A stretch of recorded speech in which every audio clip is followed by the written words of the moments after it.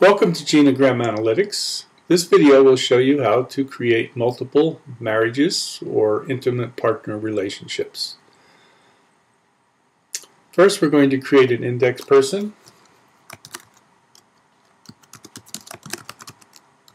And for purposes of this we're going to make this person a female and we're going to say OK.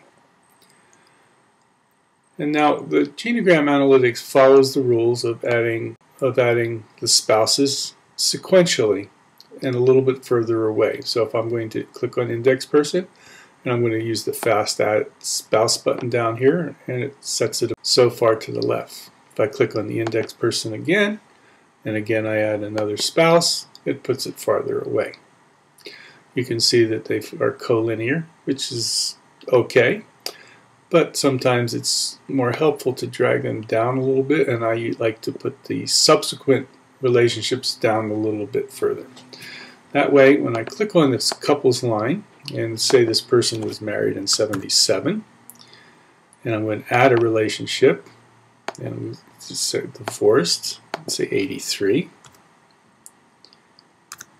and you'll notice I'm just using the two digits when I update that it will put the chronology of the relationship on the line. And then when I do this one, and we're going to say that they were married in 89, and it puts that on. You see, if I separating a little bit, they go a little further, or I could drag it over to the left. Now, if we have, drag this down a little. Now, if this uh, second husband, for example, had had a previous marriage, the way to handle this would be to move him over a little bit and add a spouse. Now this time it thinks that the spouse is the second one, but actually we move this over into the correct position of the first one. And drag this down, and now we'll say this one. They were married, and we can say 67.